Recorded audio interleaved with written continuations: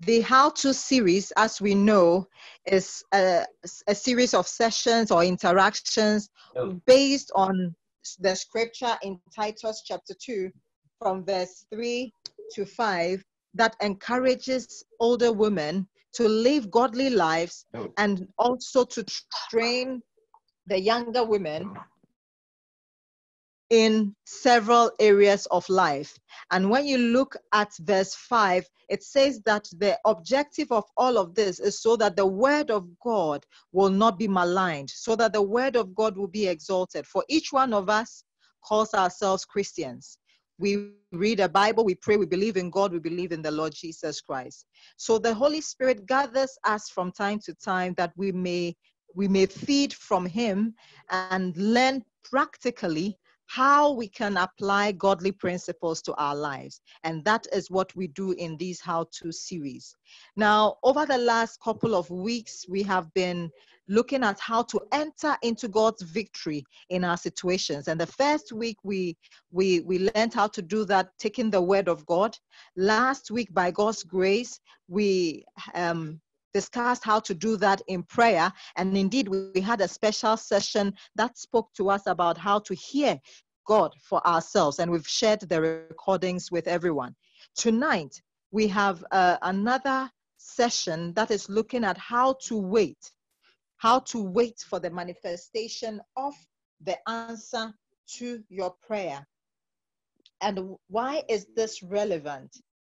It's relevant because the Lord Jesus Christ said to us that when we pray, when we stand praying, when we ask anything in prayer, we are to believe that we have received it and then we will have it. So you can look at it in Mark chapter 11, verse 24. Mark chapter 11, verse 24, you see that scripture. So it's two steps. At the point of prayer, you believe that you have received it, and often the Lord, in all his mercy, will give us certain promises, certain confirmations in one way or the other. And so you know that the Lord has said yes.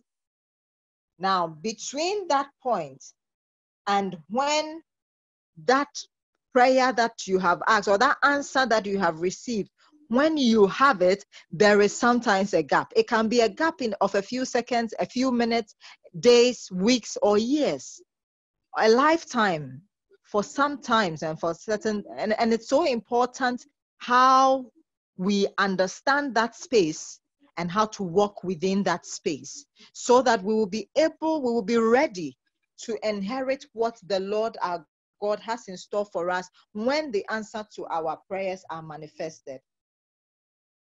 The word of God, Mark 11 24 says, Therefore, I tell you, whatever you ask in prayer, believe that you have received it and it will be yours. And so that is one uh, perspective of it that we want to talk about. So I thank God for drawing us together tonight um, for this engagement I will actually um, ask Pastor Adeline to, in, to, to introduce our speaker for the night uh, to us before she takes over.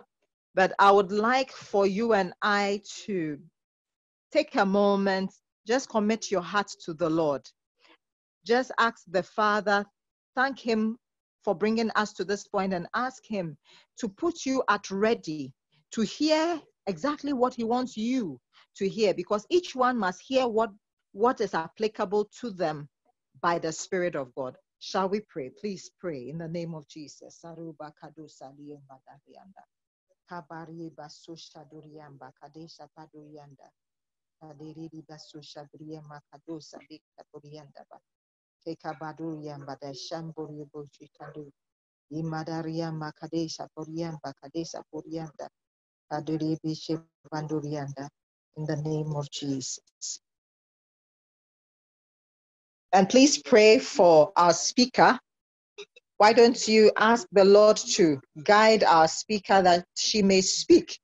only by the Spirit of God? Let the anointing of God be massive upon her tonight that she may speak by the power of the Spirit of God. It's so important that the Lord speaks to us Himself and He will use her, use what He's taking her through, use everything that He wants to use. And ultimately, we must hear God. We must see Jesus. Please pray for her.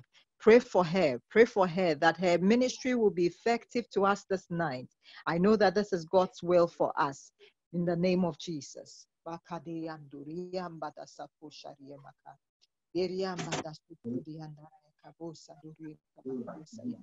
mandaria kabadosa pandori batasendoria kadosa lapa dosuchandara baka shanduru mm. bakadesa in the name of Jesus Father we are grateful. Thank you so much once again. Thank you for hearing us.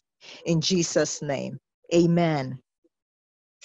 So, sisters, before I hand over to Pastor Adeline, I just want to remind us that, as usual, our resource person will share with us for some time.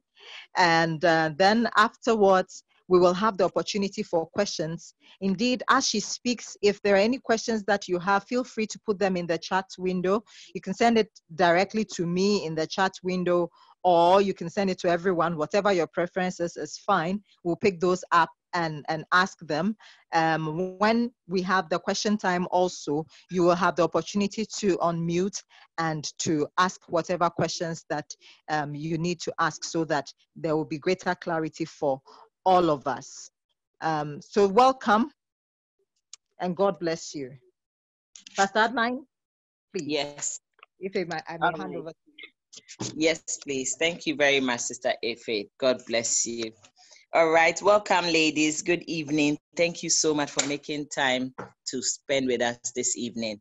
Um, all right, so our guest speaker is is Mrs. Nana Addo. She fellowships with me at Agape House, and her husband is one of our deacons. The first time that I heard her testimony, my husband and I heard their testimony, we were blown away. We were blown away. Their testimony was so powerful. It made an impact on us till date. Like we, we, we really remember it. And not just me. I was sharing with somebody um, not too long ago, and she actually also made reference to this particular testimony. I can see that they are living a believer's walk. You see, we have to walk the talk. And so I believe that tonight she will she will share with us, and I believe that we will all be blessed and to be very powerful. She's also a woman that opens up her home.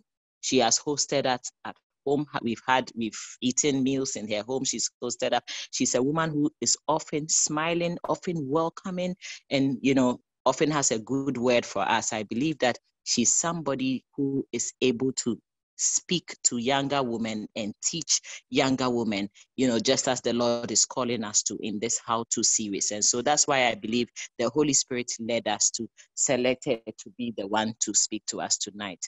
So, ladies, without much ado, I would like to call Mrs. Nana Addo up to, to unmute her mic and just have the floor and speak to us as the Holy Spirit leads you. Thank you very much so much. Thank you so much. You're welcome. You're welcome, Nana. Thank you. God bless.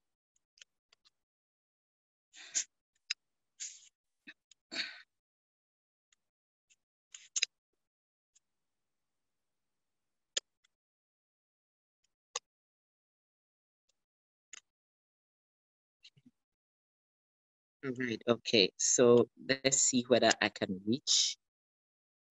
Okay, Sister Ife, can you just take over a little while whilst I try to reach Mrs. Yes, yes thank yes. you.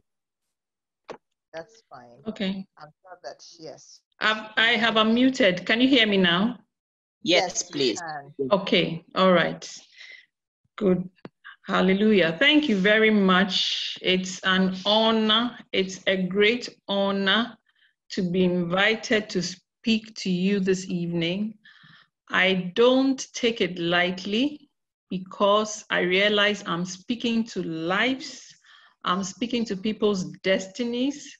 What I say or break somebody's, you know, change the course of their lives and it's a huge responsibility.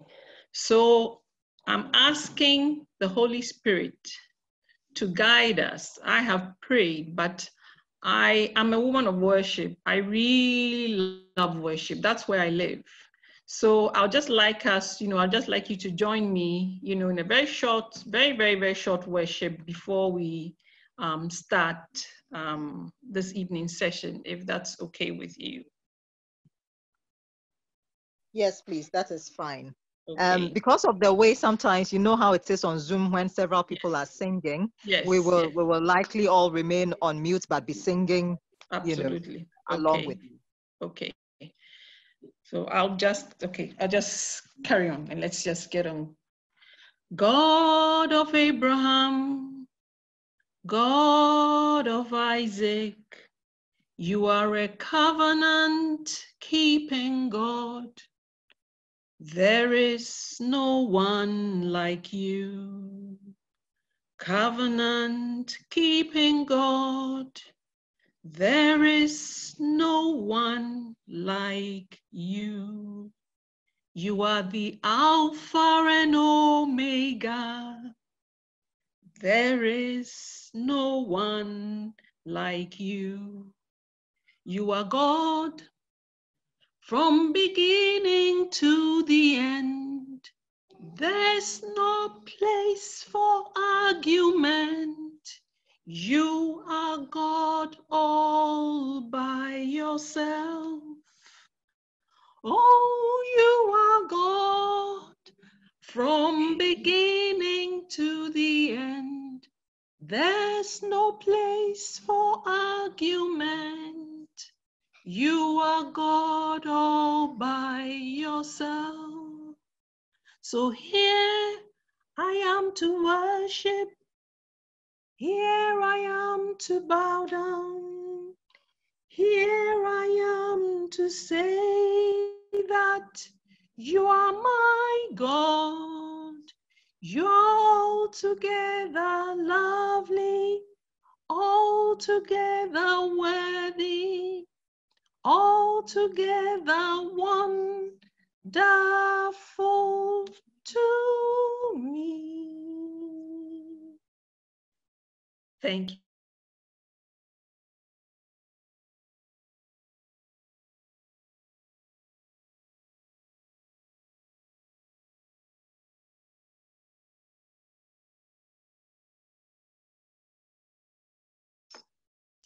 it's muted. You take total control in the name of Jesus, Lord. As I speak, Father, this evening, you speak through me.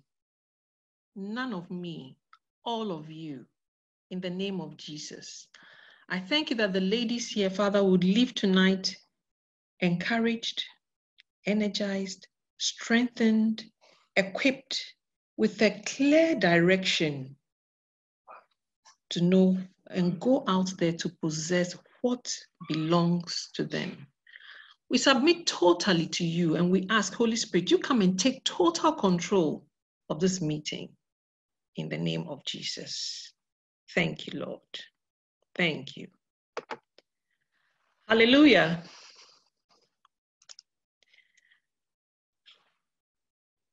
It's okay for me to go Amen. on. Yes, yes, yay, we can see you. Oh. Yes.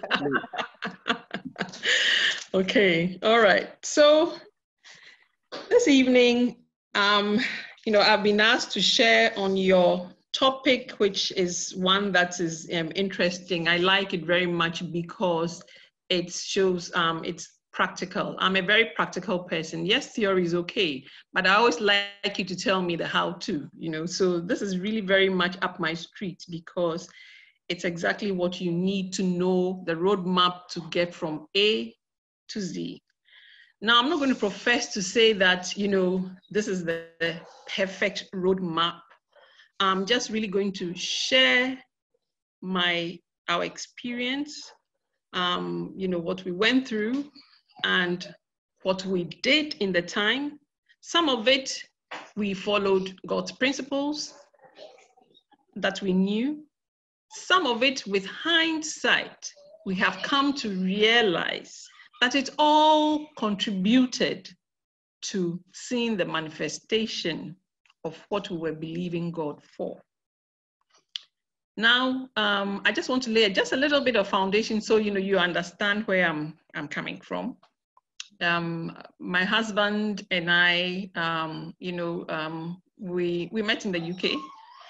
We came down to Ghana to get married mm. and went back to because our parents wanted us to do it in Ghana, so we did that. Um, we were not um, um, born again Christians at the time we, we got married. Um, so it was after we got married, I think about three or four years, somewhere around 98 is when um, we became born again Christians. We gave our lives to Christ. Now, after 21 years of marriage, I conceived at age 51. And at age 52, I gave birth to our twin daughters, Nessa and Joda. Now, I just want to lay down some, you know, just to make certain things clear. I'm not a faith guru. I don't profess to be one. I'm just one of us, just one of you, a born again child of God that just went to God with a burning desire to have children. Now you have to understand that I was married, I am married, goodness, I am married to an only son. so you can imagine what's what, you know, after a few years with no offspring, things began to heat up. Now we started with um, believing God for a child, for the fruit of the womb. When we realized it was delaying, we changed our confession and we started asking for twins. I said, Lord, just give me a boy and a girl. I want one stop shop and I'm done. Because why? Because we're not growing any younger. I was growing older. I didn't think I would have the luxury of time to have one and wait for a few years to have the other. I just needed boom, that done. So we changed, you know, um, what were our expectation. Now, we were blessed to be in a church whose focus was the teaching on the family. I mean, it was a major, that was what it was all about. They, they taught on the family so well. And our pastor was so, such a gifted teacher of the word that made us grounded and rooted in the word of God right from onset. I mean, when we go to church, we have our notebooks and our pens, and we are taking down notes, not just us, as in the whole mm. church, it was the culture, because he was really teaching us the word. So we got to know the word. But one thing that we got to know because of their focus on the family was the you know we learned right from the onset that the primary the primary um, what do you call it um, the primary um, uh, underlining um, what do you call it about um, marriage the primary cause for marriage was not to have children but it was for the two to become one flesh so we got to know that right from the beginning the purpose the primary purpose of marriage was for the two to become one flesh, and procreation was not the primary purpose. Now, that helped in the sense of that settled things for us. For me as a woman, as you can imagine, and and and then for my husband because he was in the same church you know he learned as well so then he understood and stood with me. That was one thing I was really blessed to have. My husband stood with me in believing and trusting God. Now it was a process. And that's what I would like to share this evening um, on the process. You know, um, I said at the beginning that having gone through it, some of it we knew we were applying the word of God, but some of it, with hindsight, we've come to realize that all, all this contributed, you know, to us having the manifestation of what we have now. So the first thing is knowing God. We were fortunate that we started right from the onset with a real good teaching and understanding of the Word of God. And we're made to understand that the Word of God was it. We had to know God. And if you don't know God, I mean, how can you say you trust Him? You've got to know Him and believe that He is. And that He's, he's the God of impossibility. The word of God says in Luke 137, is anything too difficult or wonderful for him? He can do anything. And then to understand that he's the same yesterday, today, and forever. He does not change. He's the same God who left, uh, told Moses to go before Pharaoh and make all, do all those things, led the Israelites, took them. I mean, the, the same God, the God of Abraham, Isaac, Jacob, the same our God. He's the same. He doesn't change. And then the overwhelming one is he lives in the perpetual now. So we have times and seasons, we have months and years, and God lives in the perpetual now. So it's all of it is one block for him. And then he decides that, okay, I put the blotch here. This is when it needs to happen. But we need to get to know God for who he is. And if you get that settled in you, you know in your knower that one, his thoughts for you are thoughts of good and not of evil. He said, I wish above all things that you prosper and be in health, even as your soul prospers. God is not schizophrenic, that he says all these things and then he would withhold things from you. Mm. It does not make sense. But if you get to know him, you will settle that in your spirit that he says his thoughts for me are thoughts of good and not of evil. So if that is the case, then, you know, let me examine, first examine the situation. Because sometimes it's not that the prayer is not working. Sometimes it could be us, ourselves. Sometimes it could be other forces that are holding back the answer. But it is important for us to examine the situation again. But when you know God and you understand, you get it into your spirit. It's so crucial that you know Him, it settles you. Because if I know and trust you that if I come to you, you have something that I desire and you will give it to me, I'll come confidently. And if you haven't given to me, I know it's just a matter of time. But that comes from knowing him really for who he is. Now, the second point, I had to try and put this in the point form, even as I shared our testimony alongside. So then the second point was to have a childlike faith. You know, you've just got to just throw yourself in it and stop calculating and reasoning. Because guess what? I've come to realize he never does it the way we think he would. His ways are past our ways. His thoughts are higher than our thoughts. His ways are past finding. He will never do it the way you are expecting him to do it. So if you are going to look at, because interestingly enough, you know, we say, yes, we prayed and we've handed it over to God, but in our mind, you know, in our subconscious, we have this plan and think, okay, if he's doing it, I will see A, B, C, D. Then I know he's doing it. And that is what we have to guard against because you will not see when he's doing it. He will just be working in the spirit. It's just like a plant when it's growing. We plant a seed, we don't see anything. All you do is you faithfully water it and then the leaf comes out and you say, oh, the plant is growing. But no, the roots have been established before that. But we don't see the roots being established. But without the roots, that plant can't come up. So you don't see anything and you think oh, nothing is happening, but something is happening, and that's the spiritual. Because obviously, what we see now all comes out of the spiritual.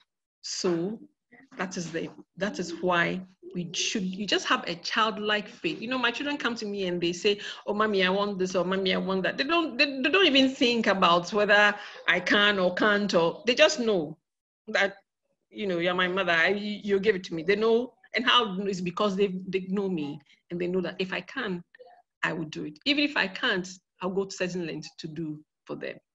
So that's the thing about childlike faith. You just don't calculate and try to understand and work because we will you will not get it. His ways are not our ways. Look at just let's look at um, um, um, King Jehoshaphat and when he had to go to war. Anytime he would have the victory, but every time it's a different strategy God gave him. The strategy is never repeated. He goes in this time he says he goes and he says, go this way, do it this way. They go, they get the victory. The next time he says, no, gives him another strategy. He doesn't follow or repeat the strategy from before. And that's God. Moses was denied seeing the promised land because God said, Speak. And he struck. He said, I never said you should strike. I said, Speak. So basically, you've missed it. But that's the thing about childlike faith. Just believe. Fear not, only believe. Like a child. Just throw yourself. You know, a child just throw themselves, knowing that the parent will just catch them. They know that the parent will not let them fall or make them get hurt. So you just throw themselves. That's what we have to try to do. And it comes from practicing. You, have got to, we've got to practice it. How does that happen? From knowing God and spending time in His Word. It's so crucial that we spend time in His Word because it's in the Word that you get to know Him. Spend time. Don't, it's not about how many chapters you read in a day. You're not in competition or in race with anybody when you have something in front of you. It's you and God. So you just take your time and read. You go to read over again. You know, I realize when you take your time and you read, you notice certain things that you did not notice before, and yet that scripture is not new to you. That passage of scripture is not new to you. You've read it before, but suddenly something jumps up at you, and you think, ah, but I never noticed that before. So spend time in the word because the word must be near you in your mouth. And then childlike faith. Just throw yourself and believe. Now the next the next thing was to put your faith in action. Because the word tells us faith without corresponding action is dead. You know, I think faith has become like a cliche with Christians. We don't have faith, faith, faith. Yes, we know faith is trust and confidence in God. But the point is, you have to understand how, first of all, do we get faith? And then you can apply that faith. But I'll come to that at a later stage. So put your faith in action. So say, faith without corresponding action is dead. How did I do mine? I needed, I'm a practical person. So I told myself, every month I will buy something for baby. And I was not buying like clothing items necessarily. Yes, I did buy a few, but I would buy maybe baby grows and I'll buy neutral. Um, and then I'll buy, you know, things for, but every month, I remember sometimes, you know, at a point my husband was like, I mean, what, what, what is all, what is all this? Why are you buying these things? So sometimes I'll hide them from him, but I'll make sure every month I go to John Lewis and I'll spend time and look around and find that little gadget not so expensive that I can, you know, buy, but it was my faith contact. The other thing that we did was to set up a room in our house as a baby room. Yes, we bought a cot. I was not pregnant or anything. Not like there was anything showing that absolutely nothing. We were going purely by our faith without corresponding action because faith must be seen. If you really say that you believe what you have prayed, then you must act it out. And you must realize that this is between you and God. So it's not everything that you can share with people. You've got to zero people out. People that you don't think are people of faith that would stand with you, you just got to zero them out because it will interfere with what you are believing God for. So we did up a whole room, bought a baby cot, did it up, you know, bought little baby gadgets and everything. And then every morning, I'll go in there and look around and I just say, Lord, I thank you that my children are sleeping in this cot. And I would just try and picture the scene of having a baby in there. And then I'll walk away. But we had it there. So every day it was before our eyes. We could see it every day. And then I was buying my little things from John Lewis. And sometimes I'll go to uh, Fenwick Brent Cross when they have a sale. It was only when they had a sale. Then I'll go to the designer section. You know, when you're uh, an expectant mother, you have these grand dreams of, you know, putting the best things on your child and all of that. But here I am just doing this faith walk thing. So it's just my faith action. So when they have a sale, then I'll go through the sale and I'll wait till the sale comes to the very end, you know, and then I'll look through and I got some good eggs, good bargains. And believe it or not, my girls wore those things that I bought. Every single one of them, we used every single one of them. And when I was pregnant, I was on bed rest. I didn't have the luxury of walking around and looking around in a shop and choosing and saying, mm, I would like, no. I was on bed rest and could not care two hoots about all of that. All I wanted was go through this, Lord, let these children come out healthy, strong, and me out because I was not in a comfortable position at all. So all those things that I was buying over the years I did not know. I knew I was doing my corresponding action of faith, but God knew that actually, come the time, you will not be in a position to go and buy the things that you need. So, really, this is your time for equipping yourself. I did not know that. I had to rely on my husband, and then he would come to me all alarmed because you see, I'm so particular. I'm a very, you know, I dot my eyes and cross my teeth. Not everything just goes, you know. So he'll come to me and then he'll say, you know, he has to go. To, this is when just before we had the girls, we had to go out of the country to have them. And he comes to me and he says, um, you know, I've been given a list from the hospital. Um, they say I should buy it. So what do I buy? I said, buy anything. Just buy anything. I was just not feeling up to it to do any. I said, and he was just so alarmed. So he will go to the shop and then he go and talk to a sales assistant and say, I have this list and go purely by what the sales assistant would say. And then he'll come and he show it to me and some of it um, I disapprove, but I just wouldn't say anything. I just keep quiet and say, mm-hmm, it's okay. Just, just accept it because where I was, that was not important at all. So that was my corresponding action with faith, which later on I realized that there was a reason for it. Another corresponding action was my, my younger sister had, I mean, she got married after me and everything, but she had her child well before me. So, interestingly enough, when my mother came from Ghana to take care of her, where they lived, you know, you had to climb some stairs. And my mother said, No, you know, I, I, I'm not doing these stairs.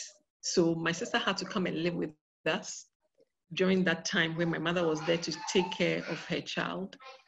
And her child slept in the baby cot that we had provided in the baby room that we had set up for our children. My sister's daughter slept in there. But the other thing was, she gave me all, you know, most of us, I'm sure a lot of mothers would relate to that. you buy things for your children, and before they can wear them, before you get around to putting it on them, they've outgrown it. So she had lots of things that were new that her daughter didn't wear.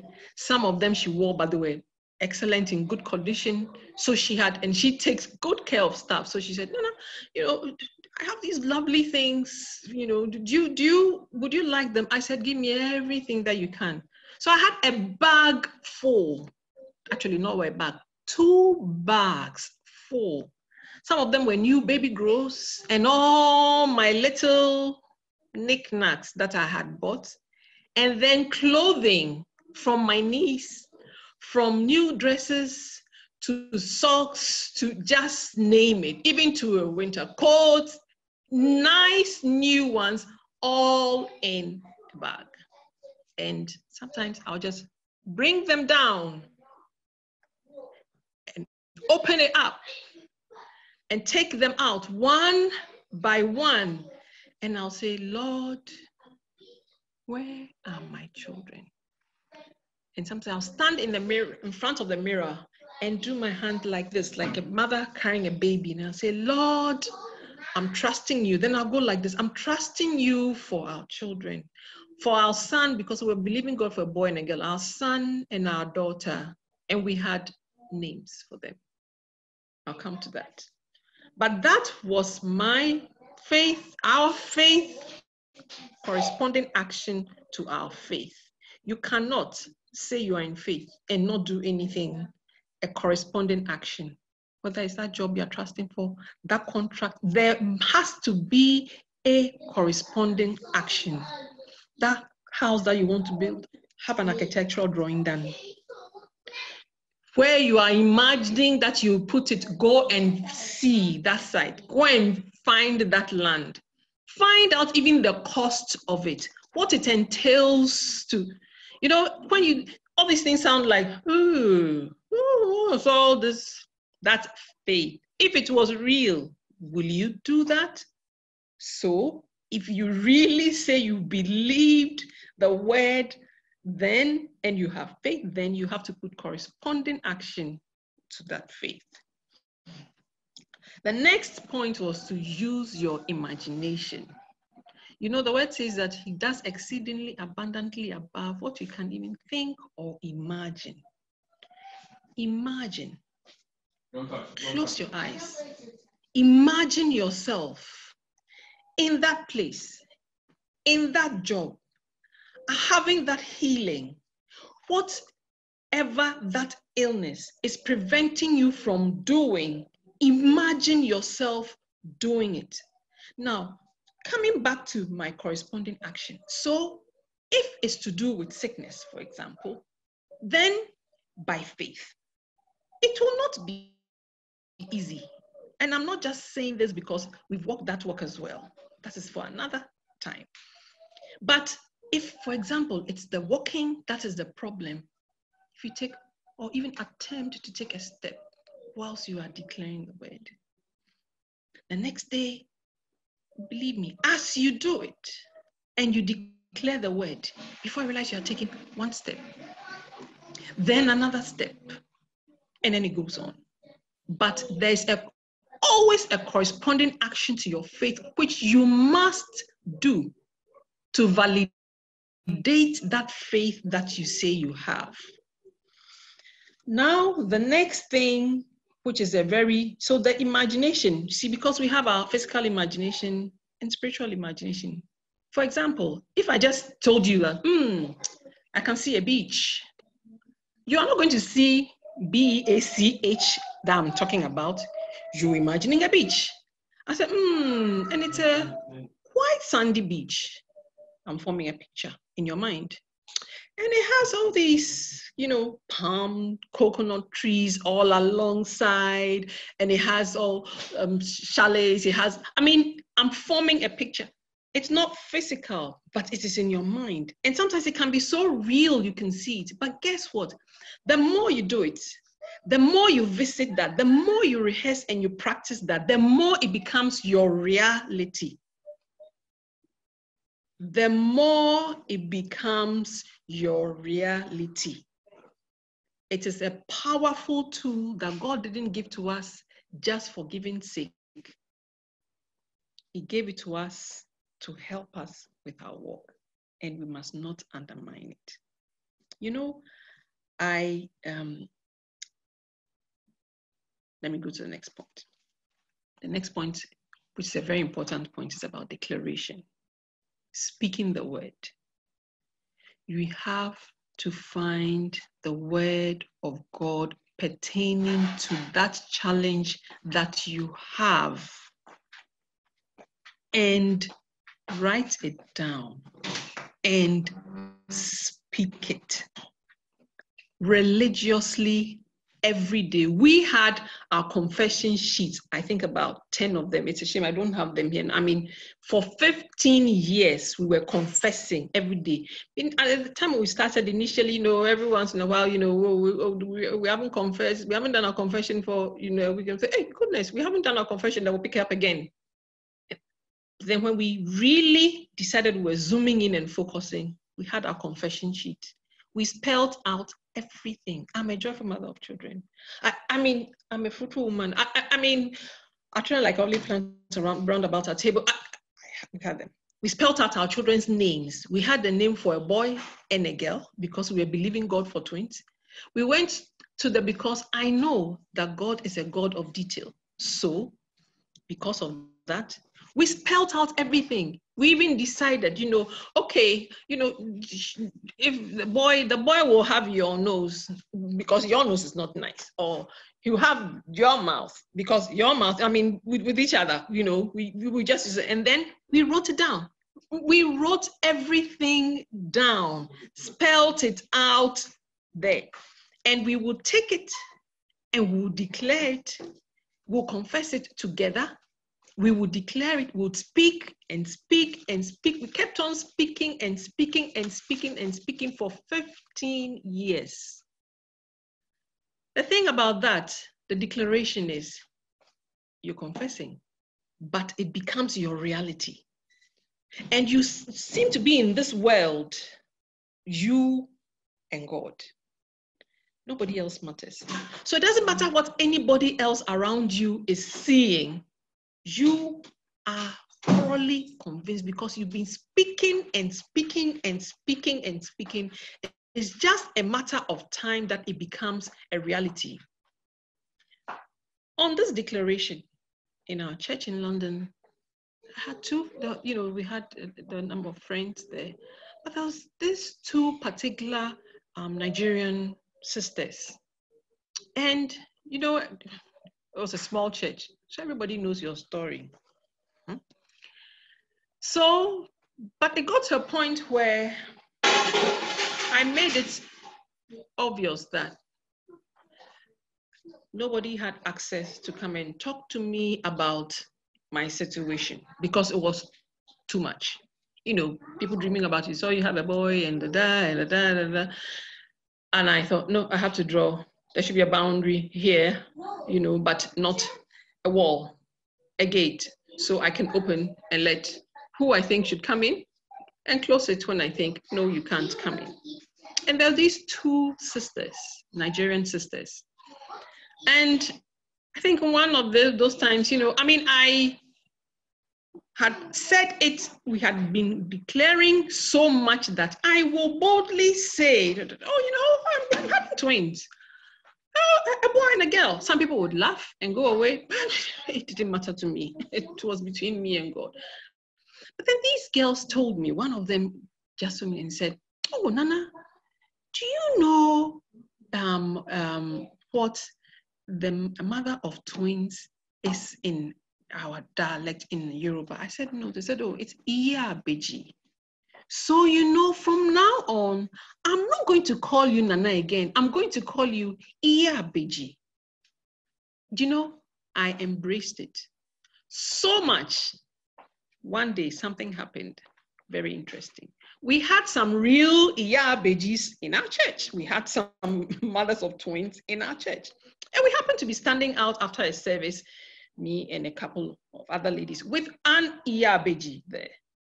So she comes and she never called me. She never, from that day, she never called me by my name, Nana. She always called me Iyabeji. So she comes and then she says, Iyabeji. And she was referring to that at the time, real Iyabeji. So I, we both turned. Then she realized, she said, Oh, um, no, not you, Iyabeji, but this Iyabeji. But it had become such a part of me. I had embraced it and accepted it such that when I heard Iyabeji, I'll turn. Because as far as I was concerned, that was my name. I had been declaring and speaking it. It had become my reality. How was I, how were we able to just carry on? Because, yes, that we hadn't seen the manifestation of that, but God was doing certain things. Every once in a while, He'll bring someone along and I'm not talking about just anybody, somebody who doesn't even know us or anything, and is usually a minister of the word. We've, we had a white American, we had Dick Mills, who I'm sure Dick Mills has passed now because at the time, Dick Mills was 81 years old at the time. He had an unusual kind of ministry where he just calls you and quotes the word of God concerning your life, and it is, I'm talking accurate. We had Dick Mills, we had a number of ministers who don't know us anything, just come and then. So we hadn't seen manifestation, but we knew something was happening in the spirit because God, I think, was his way of encouraging us to say, stay on, stay on track, don't go off. He'll bring somebody in, and the person would say something, a word here, a word there, and it just kept us. So we just kept on with our declarations kept declaring and declaring and declaring. We kept speaking and speaking. There's a, a, a, a chapter comes, he says, speak and speak and speak until you are blue in the face and speak and will continue to speak. Because why? Because the word of God is sharper than any two-edged sword. It is powerful. It is able to do, it does not return void. It accomplishes that for which it is sent forth to do. And we believed that. So we were sending the word out whatever it is that was standing in the way, wh- whatever, whatever, we were just letting this sword of the spirit out. This sword that is a two-edged sword. So it cuts both ways. It's going in, it's cutting on both sides. It's coming out, it's cutting on both sides. We just kept speaking the word. Speaking the word. That was all the weapon we had. We had decided that we were sticking with God. When I had come up and given my husband options, he would just blank me out. And I thought, hey, what is going on? And the pressure, as you can imagine, is on me. I'm the woman, aren't I? So the fault is mine, naturally. So the pressure was, and he's not interested. He's like, no, if God will not do it, then that's it, then so be it.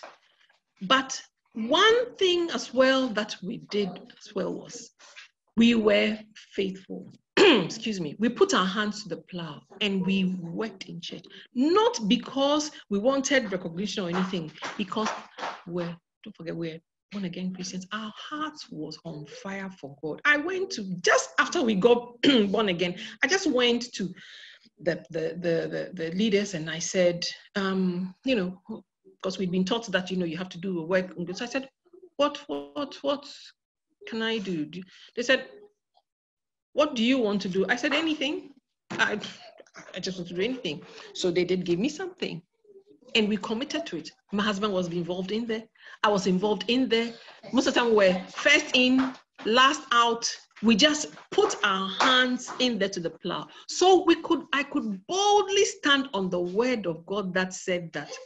He said, he said, if you will serve me, I'll bless your bread and your water. He said, There shall be none barren in your house. Even your cattle and your sheep shall not be barren. So I said, Lord, I know your word does not return to you void. You are a faithful God. You are a covenant keeping God. So I'm counting on that word of yours. I have nothing to stand on to because you said ah, our righteousness are like filthy rags before So I'm not even going there. It has nothing to do with that. I'm coming on your faithfulness. That I know I have been faithful. So if you say that if I am faithful, this is my reward, then I'm holding you to your word. declaration. The next was to be consistent. If you see, I said we started, and you know, sometimes we'll wane a bit, then we'll catch ourselves and come back again, and then we'll wane a bit, and then we'll catch ourselves. Then we decided, no, no, no, no, we've got to zoom in here and just be consistent.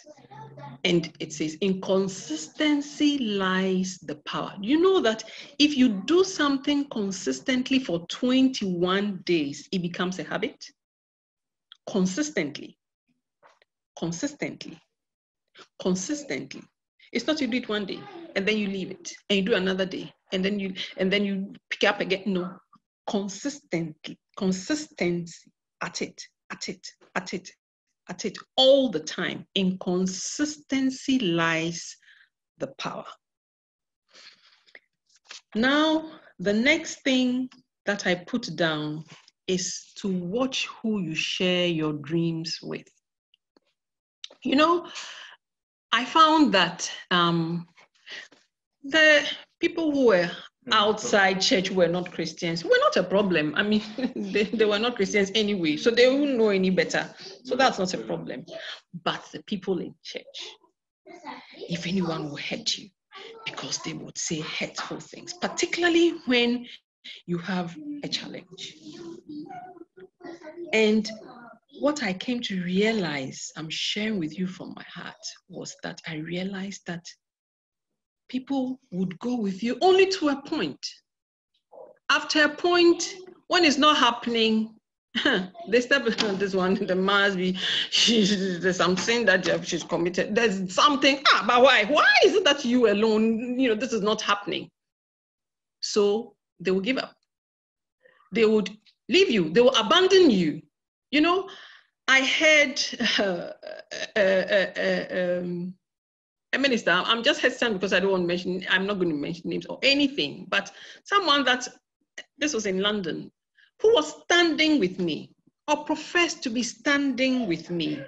I mean, standing with me to the point where sometimes, you know, I'm sure someone who was a very practical person, so would wear you know, a bracelet or something and say, oh, you know, this particular one is to remind me to pray for you. I mean, that sort of en- encouraging me and everything. Then one day, this person, and the person was Ghanaian, stood in the pulpit and said, you know, knowing perfectly well who was there, knowing perfectly well because it's a very, very, very small church, said, oh, you know, we are Ghanaians, we Ghanaians, when you are when you are barren, it's a stigma.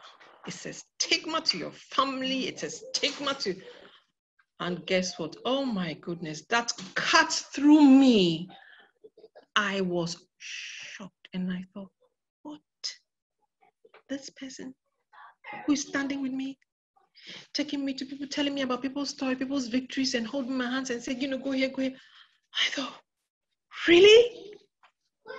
From that point, I realized, okay, Nana, this thing, you, your husband, and God. That's it. Don't think because anyone will work with you for a while.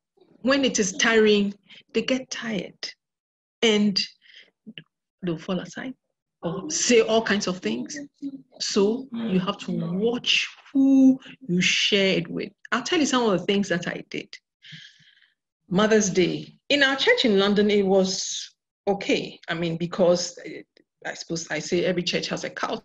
So in our culture, we had, you know, people do things by faith, and you know, this is doing it by faith, that sort of thing. So Mother's Day, you know, that's when it cuts through you. Eh, and then in our church, you know, they'll give every, every, every mother, oh, all mothers stand up, and then they'll give every mother a flower or something. And so I got to a point I decided that, you know what, I'm going to stand it was part of my faith corresponding action. As difficult as it was, everybody there knew we didn't have to. It was not a secret. I mean, everybody there knew. So if I stand up, then why is she standing up? But I would stand. And you know, I could feel, you can feel the heaviness in your heart, on your shoulder. I mean, you can just feel it. But I set my face like flint and I stand because I tell myself, I says, you know, if you continue to do the same thing and you expect different results, you have a name. But if you are one, if you want really something desperately from God, you've got to do some bold things. Just like that woman who, the woman with the issue of blood, the Syrophoenician lady, she's the one that does it for me. I mean, she went to Jesus himself, or not somebody, Jesus himself went to him, and Jesus tells him that no, no, no, no, no, no. You know, this thing is not for your kind. She, she said, Lord, yes. But even the crumbs under your table, and as for the crumbs, I can pick up. That one is dropped. So I will pick up the crumbs. You don't worry about the main thing. And Jesus was like, wow, he hasn't seen such faith before. So you have to watch who you share it with. I had people, you know, make fun. You know, someone just came up to me one morning. I mean, you, you know, I've gone to church in the morning. I'm minding my business. I am, I am minding my business. I have my own cross I'm carrying. I'm minding my business. And someone comes to you in the morning and he says, first thing in the morning on Sunday morning, you know, you too, You've been practicing for too long. This practice is too long. Show us some results. I have not come to talk to you about anything. So you can imagine. First thing, Sunday morning, you prepared your heart, and someone comes and it just cuts through you. And when it's like that, you know, it's a deep wound that is within you when it's to do with, um, uh, well, I suppose everybody's challenge is the same, but for me, it was a deep wound. And sometimes I don't intend to cry at all. I mean, I don't. Before I realize, I only realize I'm crying because I feel the tears running down my face and I think, oh dear. I just quickly wipe my face. I'm like, no, dear, I didn't want to do this. What is this? But because it's deep inside, it just comes out. So you have to watch the people. Not everybody would see what you are seeing and stand with you. Not everybody. I heard of a story of a, a, a woman whose husband got so ill, was taken to hospital. You know, all his organs were failing. I mean, all his organs packing up, packing up. Everything was packing up. He was put on a life support machine. Everything was packing up. So they asked her to, you know, give her consent for her husband to be taken off the life support. Her pastor came and said, You know what, my dear? This is a lost battle. She said no. And do you know why? Because God had given her a picture of her leaving the hospital, pushing her husband in the wheelchair with balloons. And she had that picture, and her eyes were fixed and set on that picture. So she said, No, I don't care what I'm seeing. I don't care. I don't walk by sight. I walk by faith, the faith in the word of God that never fails. It always produces. I walk by that word. I you will not turn off this life support. And indeed, and she went and put healing scriptures, plugged it in his ears, and was playing round the clock 24 hours playing round, playing, kept playing, playing. Guess what? Guess what? His organs started, everything started coming back. Everything started coming back. And she did walk out of that hospital, pushing her husband in the wheelchair with balloons, just as God gave her. You don't and this comes from, you see, the tenacity and the boldness to refuse it was because she knew God and she knew what He had said to her and she knew the picture He had given her, her alone. Nobody, He gave it to her. So she was boldly standing by because she knows God will not do that and just let me. It's not, He doesn't play games. So you have to watch who you share your dreams with, what you're trusting for, you have to watch it, especially when it comes to prayer of agreement, because it is a hard thing. So be careful who you agree, because the word says that if two shall agree as touching anything, it shall be done. But the agreement, you can, so you have to, you have to be careful who you share it with. crucial. The next point I have written down is to be committed, which we've we've we've um, we've already um, talked about, touched on earlier. You know, because the word says that having done all to stand, stand therefore. Having done all, having done all, stand. How do you stand? Having done all and you still can't see because he's faithful, reliable, dependable, unchanging God. And his word never fails. He's the God of impossibility. Anything too difficult or wonderful for him?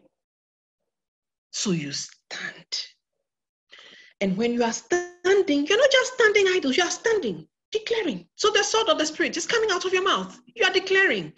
And you're making sure that you're spending time in his presence. Not his word. You're reading the word. You know, that's why it says, in his presence is fullness of joy. I became a woman of worship because right from the beginning, I was not like a born-again Christian. When we got married, I told you right from the beginning, one was there at the beginning. I became a Christian and everything. But I realized that when I just go and I worship, I just get so energized. It gives me this energy. And I am caught up in a whole different realm that just emboldens me to, I come out and I'm like, I'm ready to take on the world because it's me and God. So I just became such a, and I love worship. But guess what? The word also says that the joy of the Lord is your strength. It strengthens you. It has a way of strengthening you that I cannot explain to you. It's a spiritual thing. It strengthens you and gives you the whole courage to just go on. I can go on. It's not by yourself, not by might, not by power, but by His Spirit. But by my Spirit, says the Lord. So watch be, be, be committed. Be committed. Then the next, the next point I put down is about sowing. I'm sure you think, hmm, sowing? Yes. The word says that where your treasure is, there your heart will be also if it is when you touch somebody's money, you've touched their life, you've touched their heart. You know how people get funny with money. Sometimes very good friends, you know, and then money comes in and it gets something else. It becomes bitter. I mean, it just changes altogether. So you are not buying it. It is a faith action as well. Because you're saying, this is worth this to me. So you are sowing towards that. I can never tell you how much we sold because at different times. And it was not, it's not because we had the money. Sometimes we didn't. And whatever we had, we would put it in because we knew what we were doing. You see, the thing in this, let me just draw our attention to something. Where sometimes, you know, you're sowing or you're giving and you're thinking, ah, what is the church, what are they doing with it? That is not your business that has nothing to do with anything. You are giving to God, and God knows you are giving to Him. That's it. Whether they use it to do whatever, whatever is their problem. The reason for giving it is, you know it. So you sow, but you name your seed. You don't just sow. Every time that you give, you name your seed. You give it with a, a name you give it a seed, you give it a name, you give it a name. Guess what? A farmer won't just take a picture, maybe a picture of what, um, what, what should I say? Corn on a sheet and just, I'm believing God for this corn and even go and stand on the land and say, yes, I'm giving God for a harvest for this corn. You know, yes, this corn, you see lovely corn, you know, plant with the green leaves and the green, uh, yellow corn, nice, and keep saying, oh, I'm believing God for, I'm believing God for. Nothing will happen until he plants the seed. Nothing will happen until he plants the seed. And the interesting thing, There are three things that guide that. When you sow, you reap more than you sow. You reap a harvest. You sow a seed, you reap a harvest. It's about God doing exceedingly abundantly above what you think or ask. I saw so we saw so many times. So I mean, I, I, I never bother to record it. It's us the spirit leads. It's not as though anybody comes and makes a financial demand and you no no no no. It's about you have to have a conviction in your heart. But even when you're giving an offering, you should name your seed. You should call it. You don't just cast it away like that. It's just like seed thrown away. Name your seed. Give it a name. I'm sowing towards this and put it in there. Whatever it's done with it, that's not your business. It's before God you are doing it.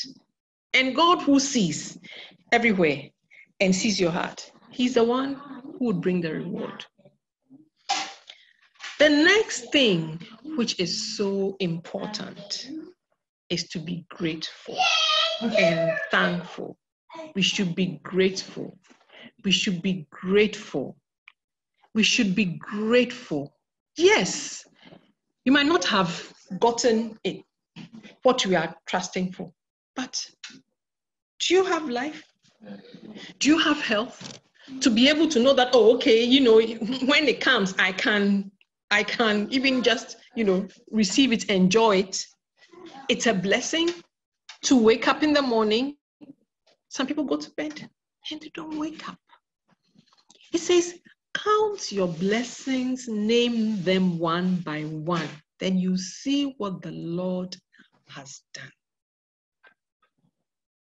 be grateful. Let's be grateful. Let's be grateful for where we are. It's called enjoying where you are on the way to where you are going. Let's be grateful.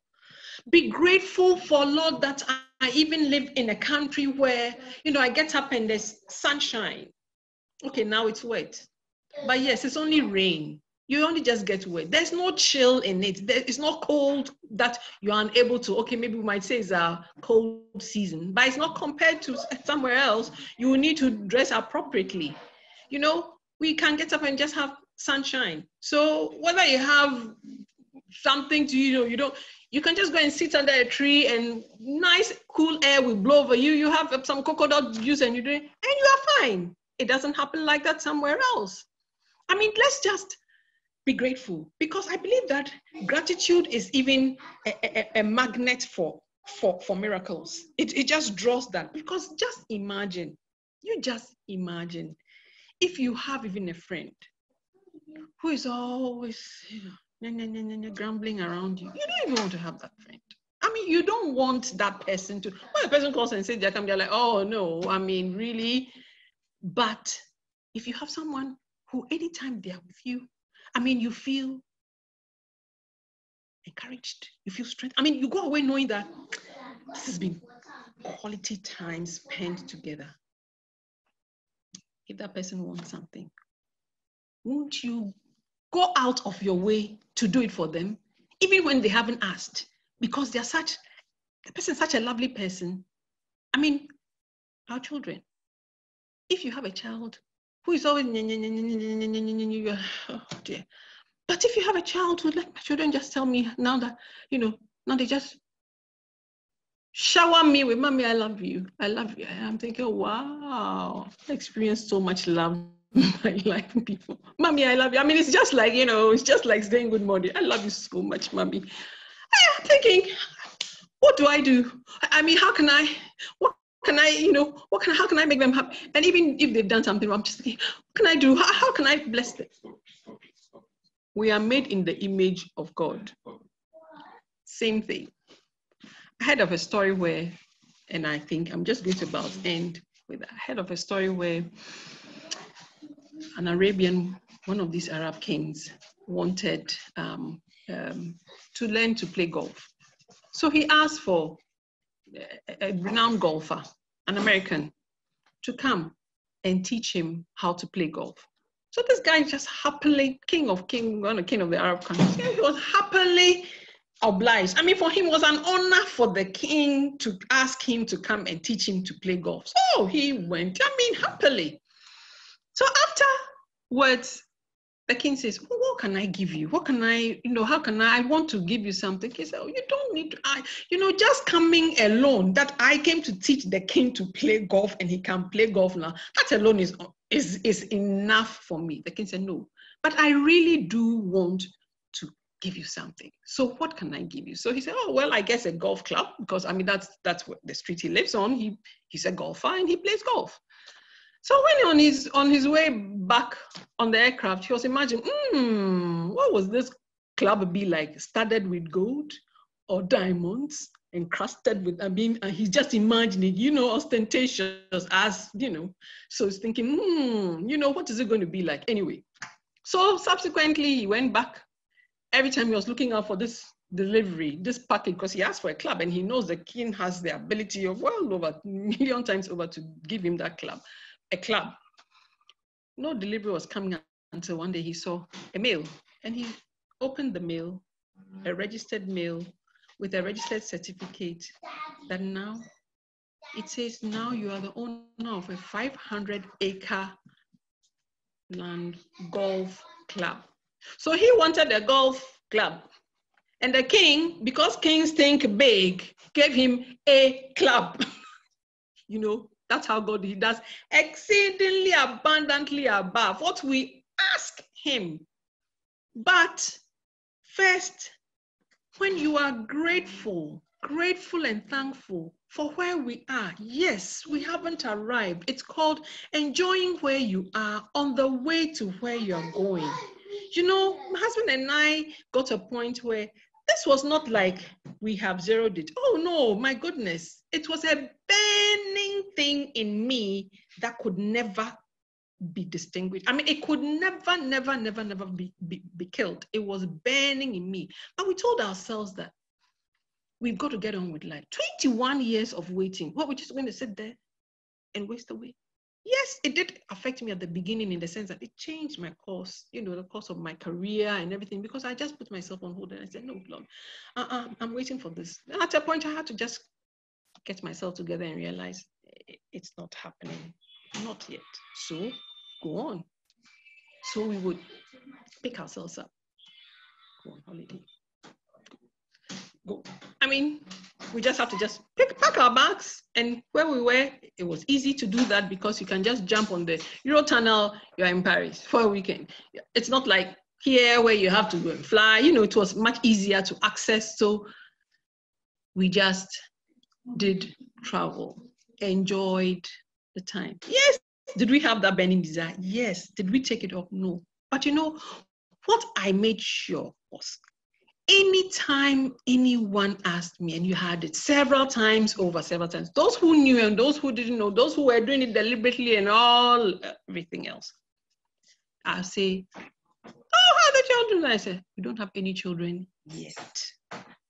Because one thing you have to be careful about is what you speak.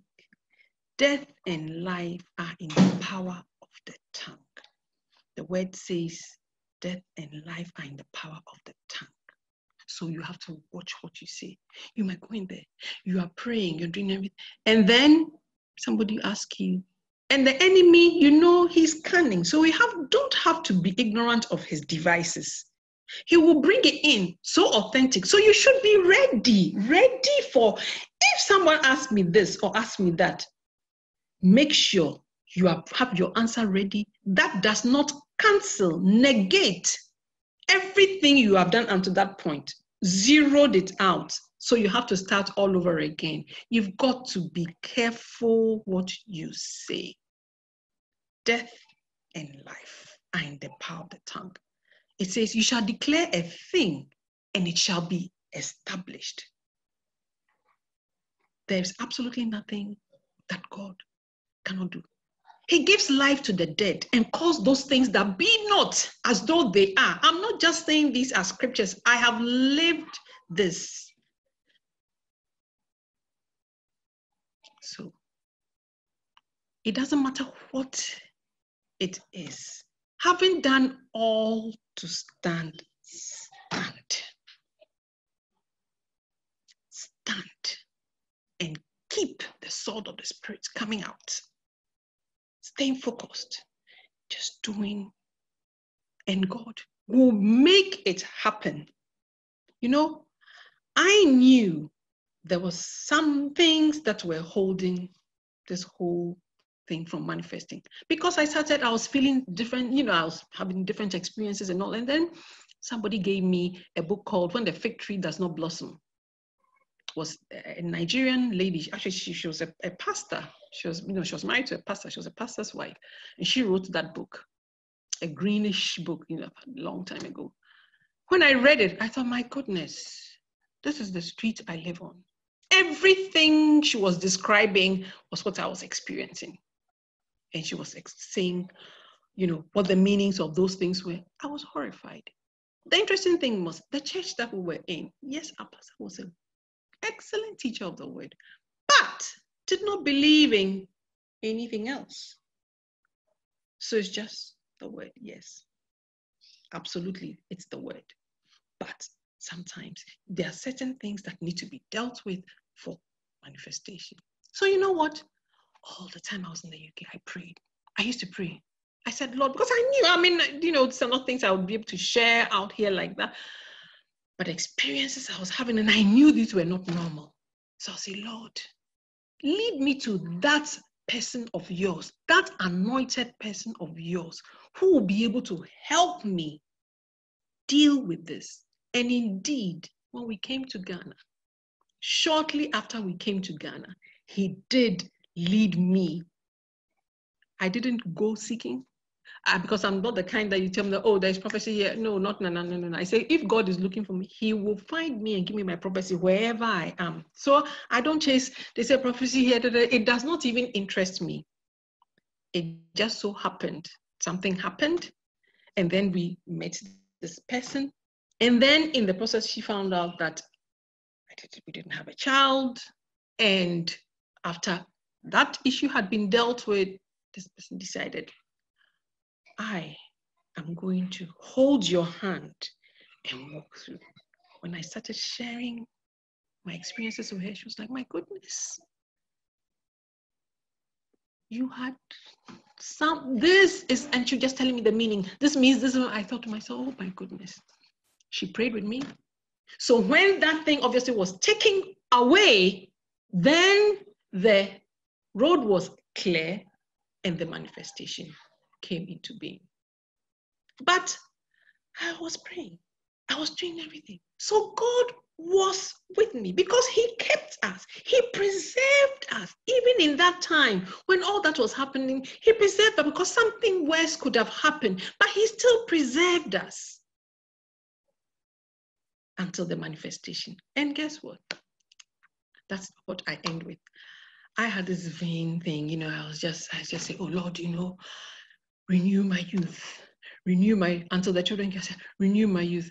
Not for anything else, but for the vanity of, you know, so that I still look young. I don't look old, you know, when I have my children, I don't look low. I did not know the depth of what I was asking for. I didn't know. I needed all the energy and twice as much to be able to take care of what he was giving me. When I fell pregnant, it took me a long before that time in agape i had never done it since we came to ghana. And in agape one day i decided i am going to do this. My husband was at the back at the time and it was mother's day. Nobody would know because i did it and my husband saw me and say oh well you know mothers you know get up and ask we have an agape that, that year that's what they did all mothers and they celebrate hell yeah hello you know well and congratulations da, da, da, da, da, da. and then they go okay so you know i stood there and i knew was the enemy just shouting because he knew what was i doing what i was doing and this was uh, two years before the manifestation of our children just head as though everybody there was looking at me thinking, what are you doing? What do you think? Who do you think you're fooling? That's what I kept hearing. Who do you think you're fooling? You, you, you must be joking. Who, who, who are you kidding here? I mean, what, what is this? Is this where you have come to? Is this what has, it has come to now with you? What, I stood up. By the time they said, okay, if you have more, if you don't have, if you have just one child sit down, I quickly just dropped boom because the pressure was too much. But guess what? I had broken through something. I didn't know. So after the service, I asked my husband, I said, I stood up, did you did you see me? He said, Yes, I did. I said, Oh, you did? He said, Yes, I did. I said, Oh, okay. you know. But that was just me. I hadn't talked to anybody, I hadn't said anything. I just felt led that day to just get up. I said, I'm going to just do the unusual there because I've got to do something that is unusual to break through this whole thing. And when I felt pregnant, every day, just before I felt pregnant, God told me, He told me audibly, Nana, I'll prepare a table before you in the presence of your enemies. I'll prepare a table before you in the presence of your enemies. I'll prepare a table before you in the presence of your enemies. I said, okay. It was head knowledge to me until I got pregnant and I was not living. I was living my husband because I was in hiring. I was in quarantine. I was giving strict instructions, apart from the fact that I was on bed rest anyway. So I was in quarantine, couldn't go nowhere. Every morning I wake up, I look at my stomach and I'll look at myself in the mirror and say, Lord, is this real? Is this true? I'm not dreaming. I'm not imagining this. And then I would hear him repeat, to me, Nana, didn't I tell you that I'll prepare a table before you in the presence of your enemies? Preparation, Nana, takes time. I didn't say lay a table, I said prepare, and preparation takes time. Now, the birth of the girls and all is one whole testimony that I don't know if I have time to share that.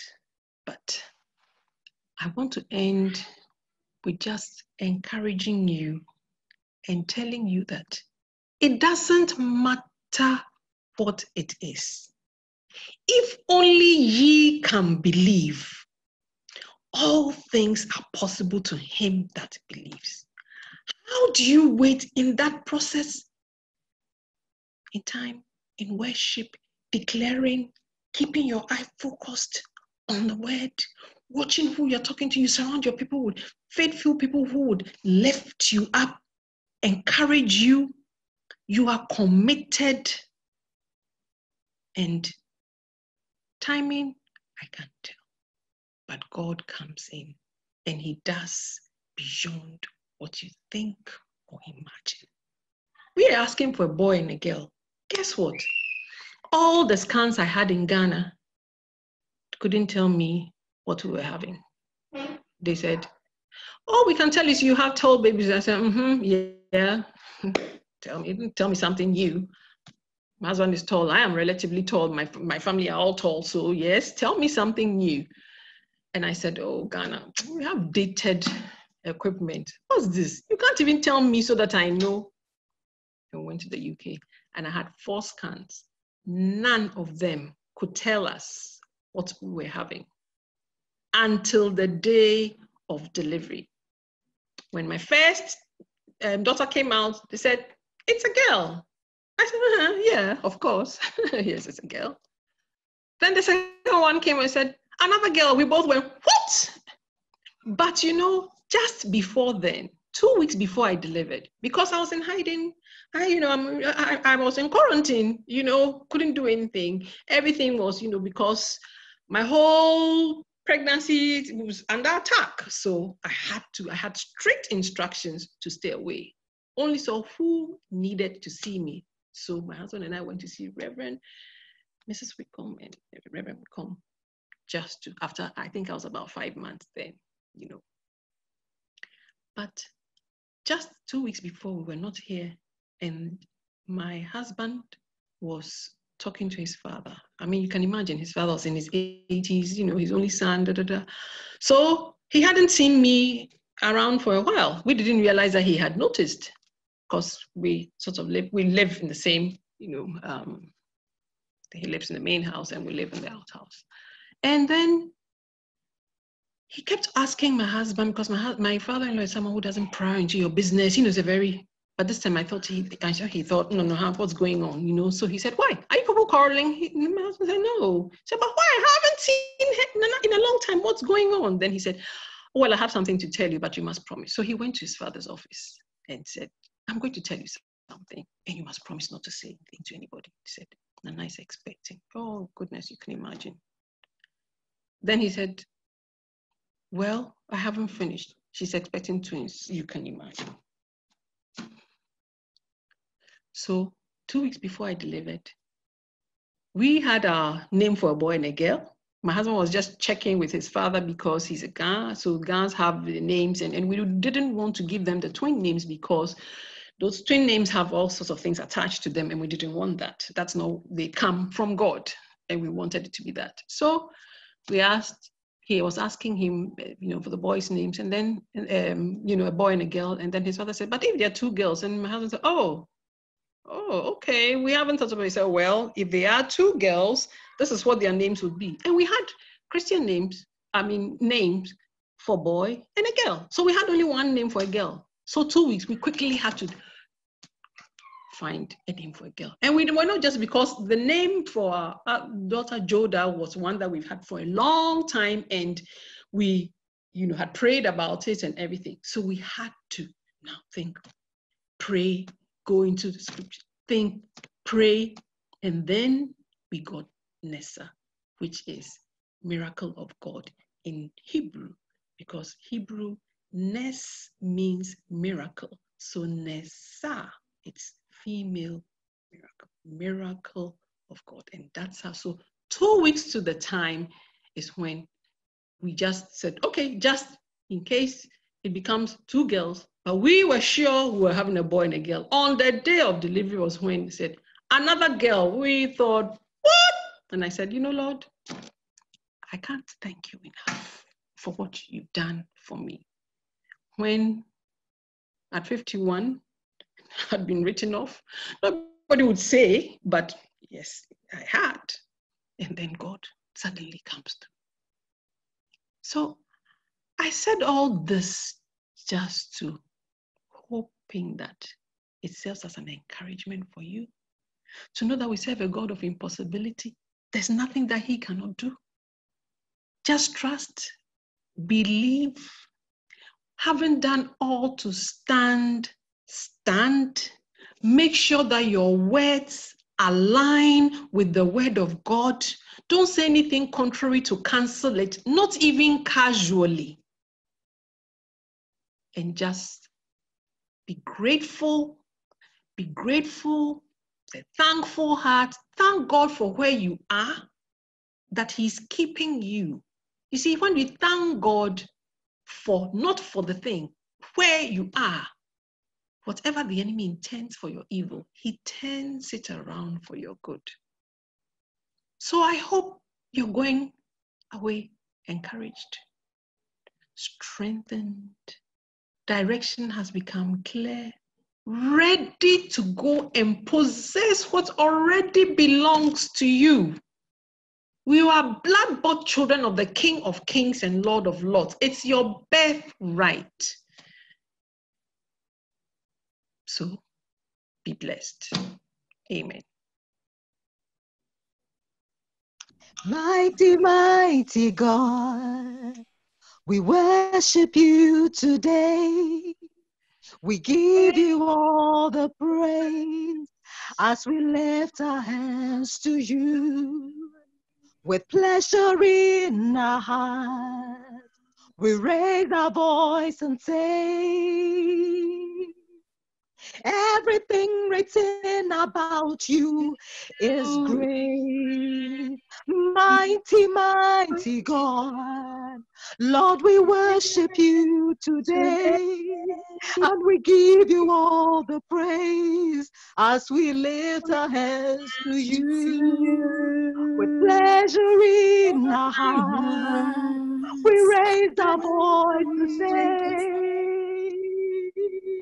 Everything written about you is great. Oh, you are great. you are great. You are great.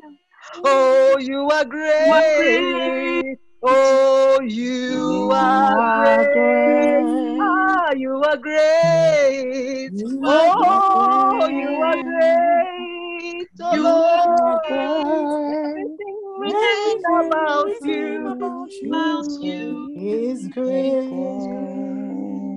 Hallelujah. We just want to exalt the name of God. You just want to worship the Lord. I want you to just praise the Lord. Oh, yes, we will ask questions, but right now, what shall we say to these things? What then shall we say to these things? What is our response to these things? Do you not have the edge to bow down before this God?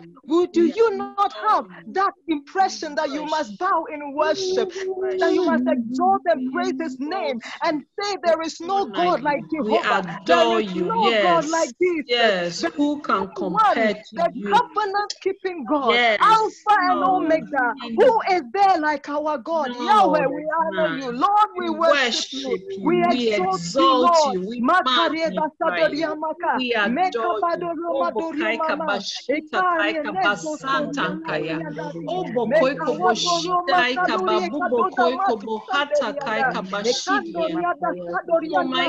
dori kaika mama. bashita Ekari kaika enezo basanta soria kaya. kariandari. Obo Meka koiko wado boshita roma kaika kadori babubo ekadoda koiko matu bohata sanderianda. kaika bashidi. Ekandori ada sadori Obo anda maika kadori babubo anda sika sonia. ika mahanta Mekabori kaika ada bashida sadori ika adori anda basiti kado. yebo koiko Mekabode boshita ya. saligia pariendo. Obo koiko bohata kaika bashida ika bahata kaya. Yebo boko boshita kaika bahati kiyebo sintan kaya.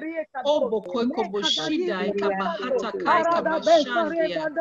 Obo koiko boshita kaika bahati kiyebo shida ya. Obo koiko boshanta kaya. Ye kaika babubu su koiko boshida ika bahati kiyebo santan kaya. Boshanda ika babu Unto you be loiko the momunti glory, kaika unto you be the bashida ika honor. bahada Whose ika name shall babu we koiko praise? Whose boshita name shall kaya. we praise? In Obo whom shall we kaika put our bahanta confidence? kaika Lord of hosts, there is none like you.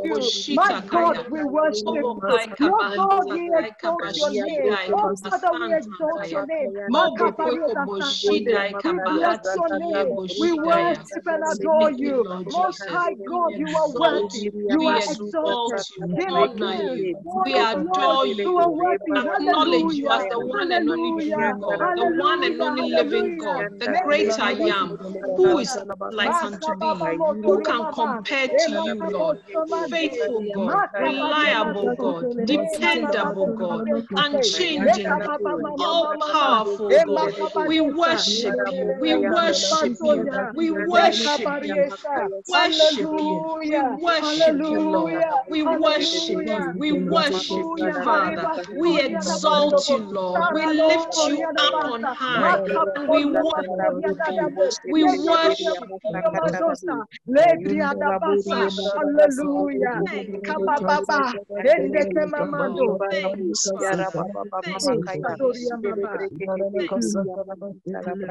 Thank you, Lord.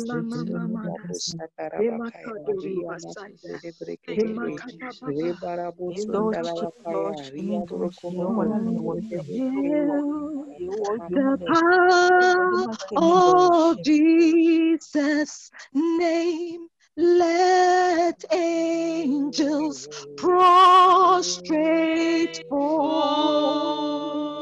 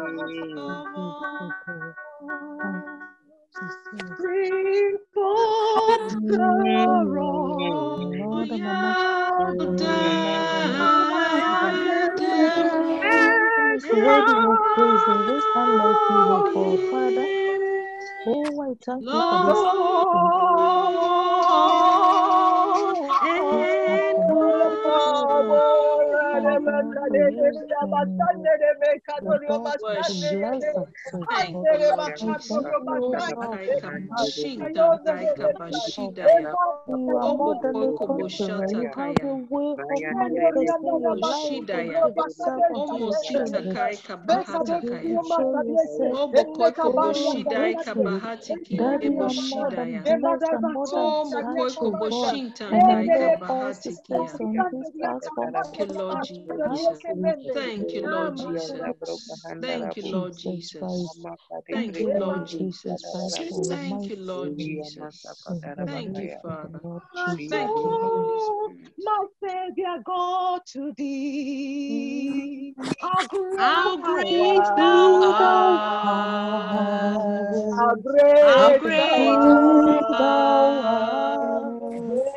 And sings my soul, my, sa- my Savior go to thee. Hallelujah. How great thou art. Hallelujah. How great.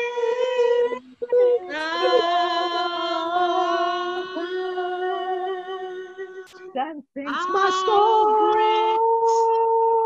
My my Savior God to thee. How great thou art.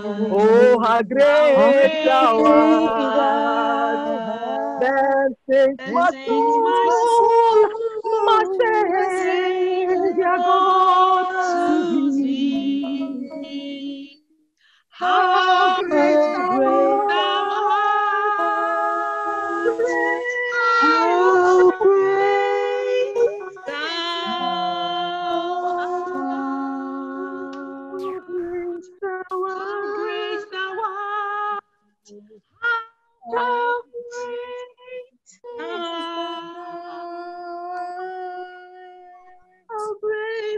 How great great thou art.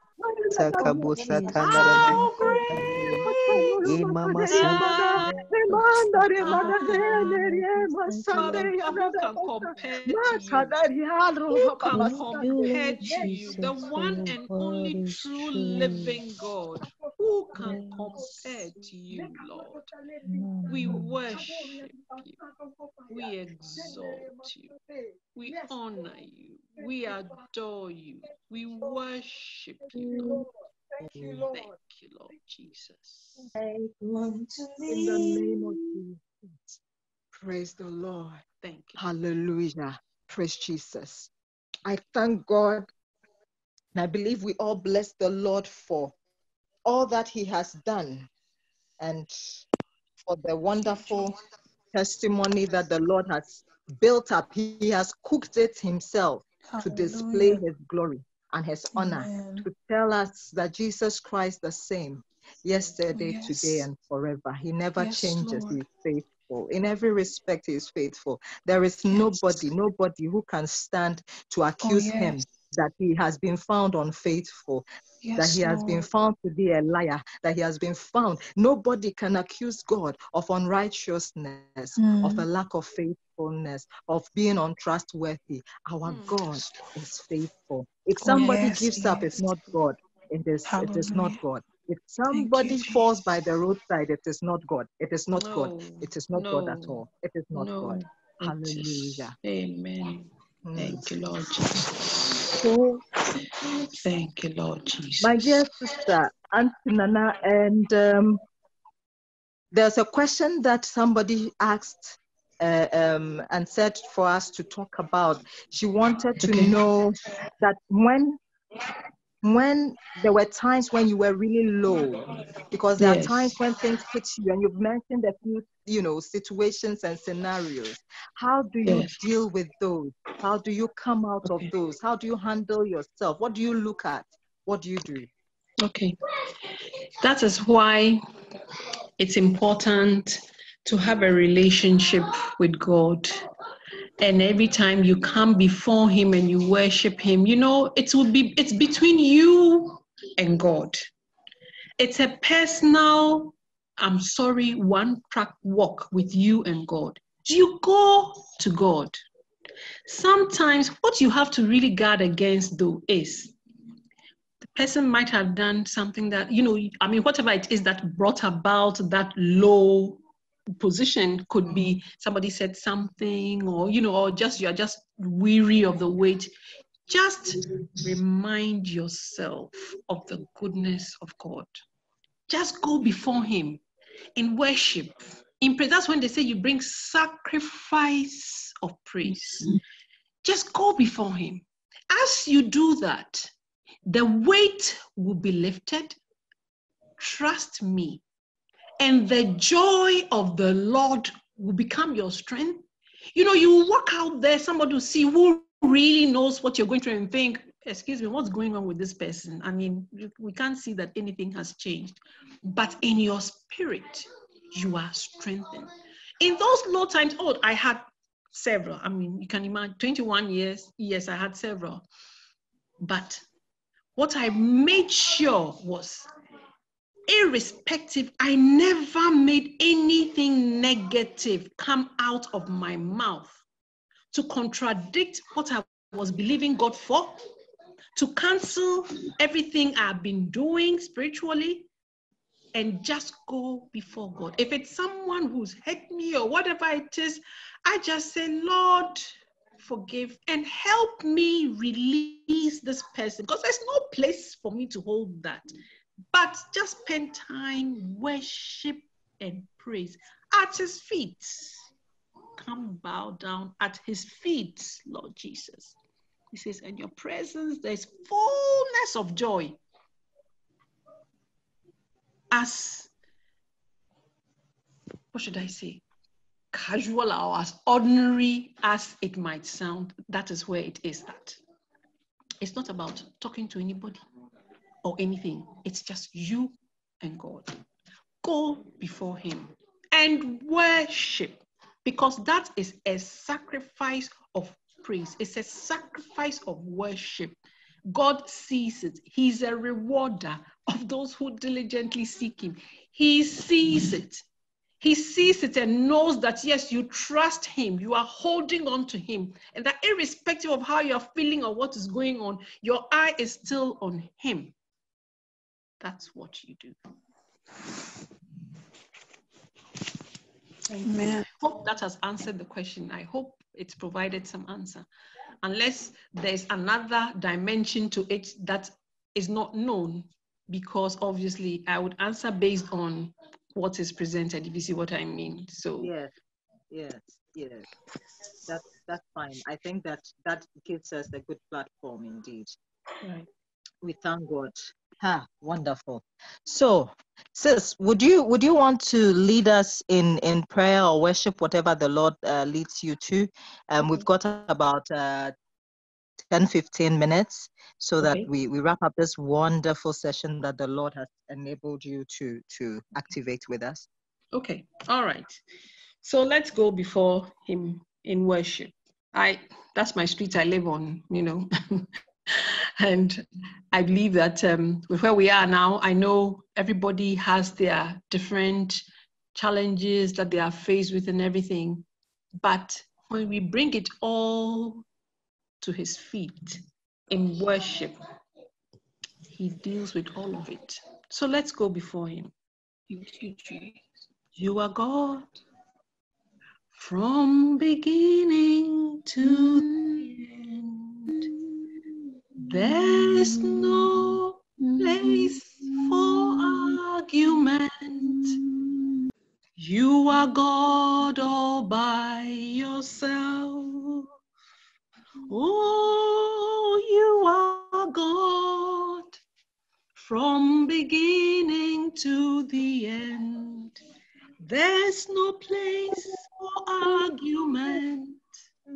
You are God all by yourself. You have times and seasons in your hands. You called for light out of darkness. You don't need a man to be the God you are. You have chosen to call us your own. Oh, you are God from beginning to the end. There's mm-hmm. no place for argument.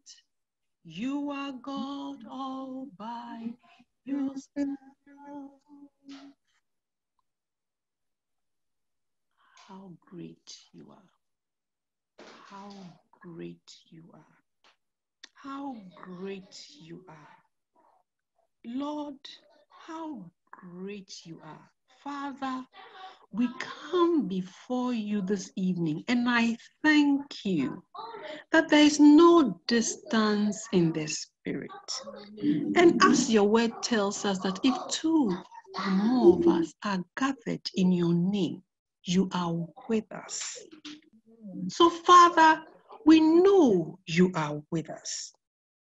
Father, you know everybody who is hearing me. You know what challenges they are dealing with. You know all the different heads, the situations. You know everything that surrounds it. But Lord, we come before you this evening saying that we have no other help but you. But you are all the help that we need because you are a faithful God. You are a reliable God, dependable God, unchanging God, trustworthy God, King of kings and Lord of lords, the one who was, who is, and who is to come. The God of impossibility. Is anything too difficult or wonderful for you, Lord? What can't you do, Lord? We look to you and you alone as the author and finisher of our faith. Father, we are holding on to you. I ask, Lord, that you strengthen, you deliver, you bring direction, you bring clarity, you bring peace. I speak peace to any troubled situation. I speak peace. And I thank you that we shall be anxious for nothing. Lord, we thank you that you said that if two of us shall agree as touching anything, it shall be established. And Lord, we are more than two.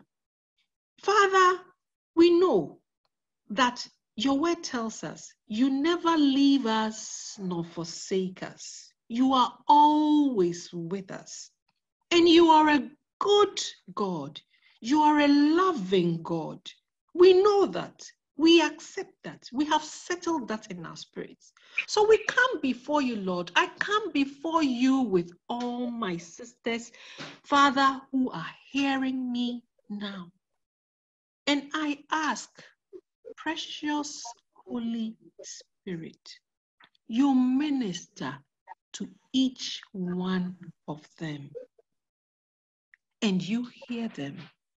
Bring deliverance, Lord. Bring direction, Lord. Father, sharpen their spiritual antennas, Lord. Let them see clarity, Lord, in the name of Jesus. We are trusting in you. We are looking to you and you alone. And we thank you that your word never fails and that it accomplishes that for which it is sent forth to do. Thank you. Thank you, Ancient of Days. Thank you. Thank you, King of Kings. Thank you, the one and only true living God. We thank you, all powerful God. Show yourself strong. Father, we know that you have provided for everything in your word. Help us. Help your children. They've come before you this evening, Lord, with their hearts open. You said that if we seek you, we will find you. I did that. And every step by step, you led us and guided us. Lord, lead them, guide them, show them, Open their eyes in the name of Jesus. Deliver them. Where healing is needed, Lord, your word tells us that by his stripes we were healed. These are blood bought children of the King of Kings and Lord of Lords. Healing is their birthright. So we speak to whichever situation and we tell you to stop and get out. You do not belong. In the name of Jesus. Father, where peace is needed, Lord, I speak your peace. Father, I speak restoration in the name of Jesus. Father, I speak direction. Bring clarity of direction. And if confirmation is needed, Lord, you provide that confirmation. However, that person will understand and embrace it and know that it is confirmation from you, bring that confirmation. Glorify yourself in their lives, that their joy will be full. I know that you didn't just bless me with these children just for me to become a mother. I know it was to also hold other people's hands and help them cross over. Thank you. Thank you that indeed tonight they have crossed over. They have moved from a place of bondage, a place of destitute, a place of desperation, a place, a place of where they think all hope is gone. Restore hope, Lord. In the name of Jesus. We give you praise. We give you thanks. We give you glory. We give you honor. We worship you, Lord. We worship you. We worship you. We exalt you. We magnify you. And we say, Thank you. Because we know you have heard us. And your word says that when we pray, you hear us and you do what we've said according to your word and your will. So, Lord, we thank you.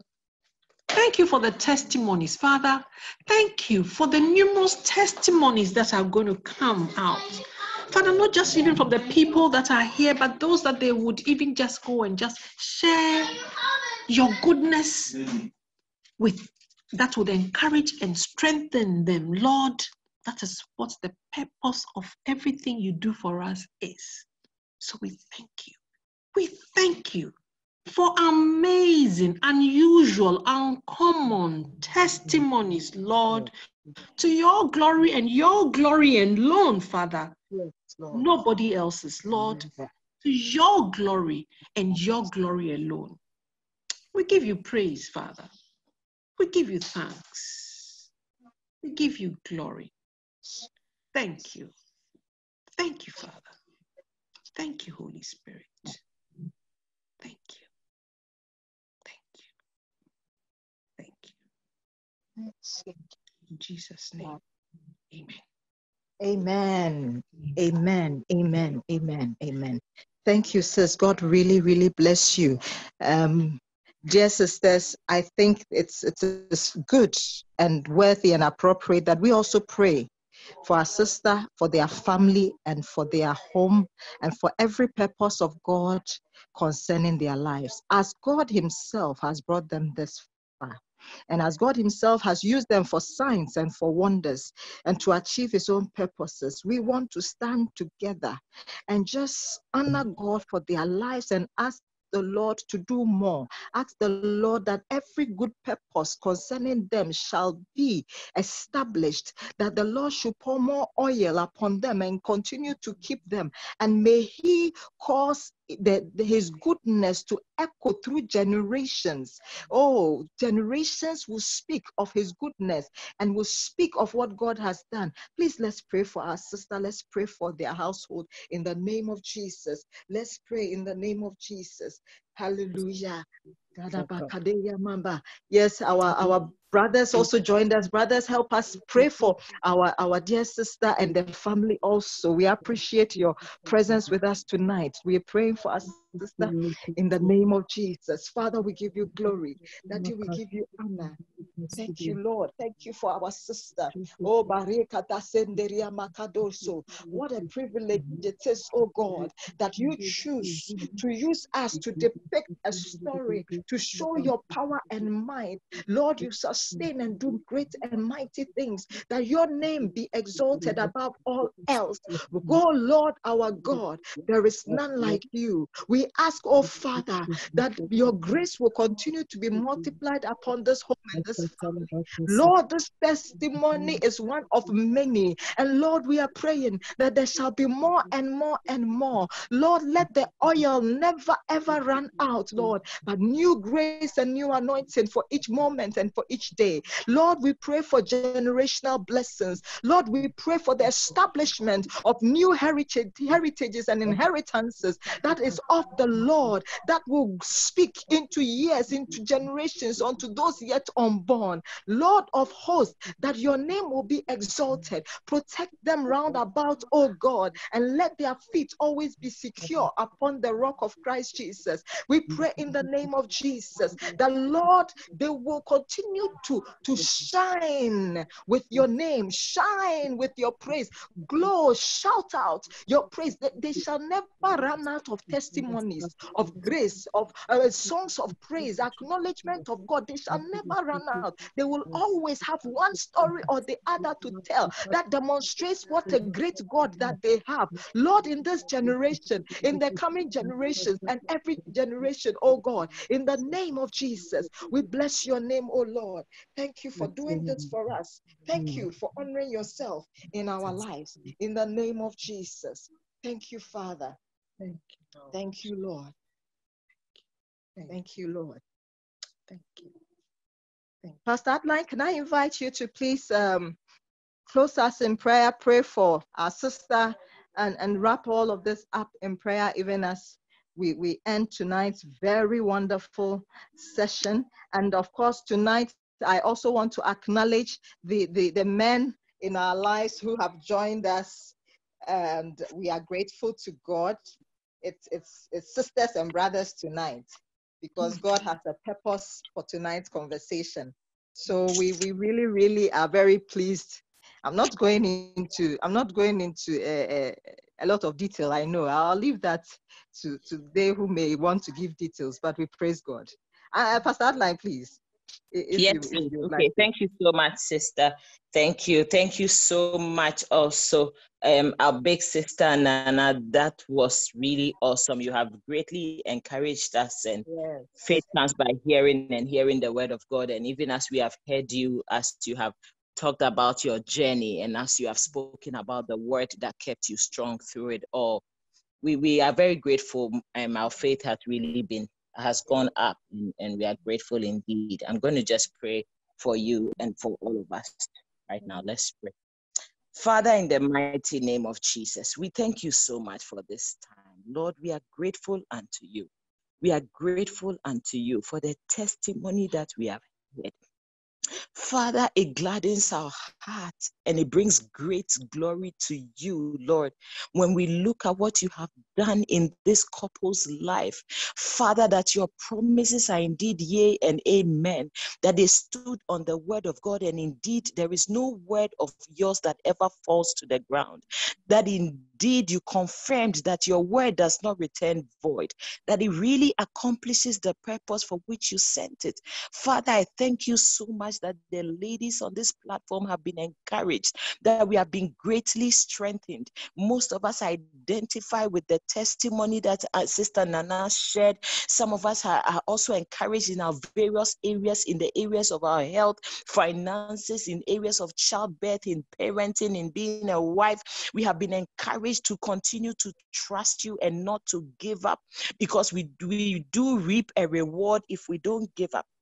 I thank you for the vessel of honor that you minister through to us tonight. I thank you for her life, for her husband, for the children. I commit them into your hands. I soak them the blood of Jesus.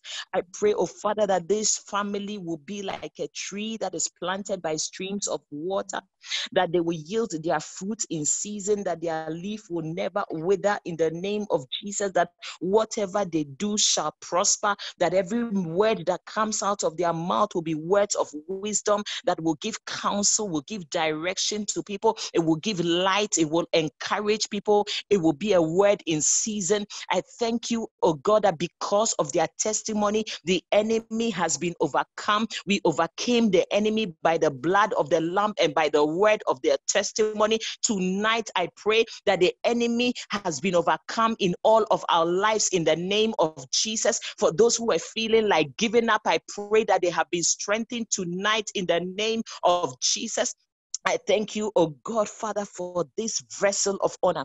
I pray that the virtue that has gone out of her and the power that has gone out of her will be replenished in the name of Jesus, but not just replenished in equal measure, it will be replenished to the point of overflow, to greater measure in the name of Jesus. Whatever she has invested in us tonight, Lord, let it be a seed. And for that, give her a harvest. As she has given to us, give back to her good measure, pressed down, shaking together, pour it into her bosom. Bless her and the husband, the children, everyone connected to her in the name of Jesus. Her ministry, wherever she finds herself, let her be the one who holds another's hands and walks with them along the journey in the name of Jesus. Those with weeping eyes that encounter her, may they live with joy in the name of Jesus. I thank you also for all of the wise right now. I pray, Father, that even as these women have been waiting upon you day and night, day and night, trusting you. I know that you are taking their faith to a new level and you are increasing their strength, that they are mounting up with wings as eagles. I say thank you for your promises that is strengthening each and every one of us, that we in turn will be a blessing unto others, beginning right from our own homes in the name of Jesus. That it caused the testimonies to begin to overflow. Let it be so plenty that we wouldn't even be able to put them all together week after week. Every time that we meet, let there be testimonies flowing over for your glory. Let every testimony give you glory in the name of Jesus. I give you praise. I give you glory. I thank you. I praise you. And I say that, Father, you're a miracle working God. You are a prison shaking Savior. You are a chain breaker. You are a way maker. You are a mighty God. You are the one who gives twins to the one who least expects it. You are the one who answers our prayers. You are the one who never fails. I pray, oh God, that through all of these testimonies and through the how to series and through the prayers, cause each and every one of us to know you personally, to have a relationship with you, to adore you, to fall in love with you, to, to, to describe you in a way that just means so much just to us in that secret place. I thank you, Lord. I give you praise. As we are all going back home, Father, cause us to have a good night sleep. That you continue to speak to us, Lord, even in our dreams. Even in our continue to speak to us and minister to us, Father. Have your way, Lord. I give you praise and I give you glory. And I thank you that in all of this, be thou forever magnified. In Jesus' mighty name. Amen. Amen. Amen. Amen. God bless you. Thank you so much, Pastor Adeline. Thank you again, our sister Nana, Mrs. Nana Addo. God richly, richly bless you. And yes, Thank sisters, we are grateful God has brought us to this point together. And I believe it is because He is continuing onward and mm. forward with us. And so, all that the Lord has given us tonight, let's savor it in our hearts, grow it, meditate upon it, go further, go deeper with Him, and His name will be glorified. God willing, tomorrow night we are meeting at 9 o'clock, 9 to 10 as usual, and it's a time of praise, testimony, thanksgiving, worship. It's a time of the Lord's presence. And I pray that everyone, as many of us as can make that time, please do make that time. Next week in the How to series, we'll be looking at how to retain the testimony that you have you have gained, how to retain your victory after you have won it through all this that we have learned and all of that? How do you continue to walk victoriously after the victory has been manifested in your life? Make a date with us at 8 p.m. next week, Saturday, and we will hear more of God's great, great goodness and all that He has purposed for us. Please let us share the grace. And so may the grace, May the grace of our Lord Jesus Christ,